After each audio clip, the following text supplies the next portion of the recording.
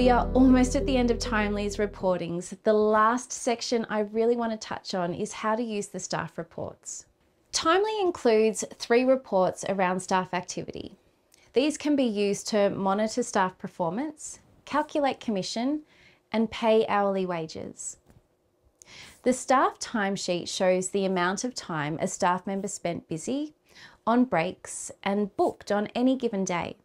You can see a percentage of the day that the staff member was booked as well as their start and end times.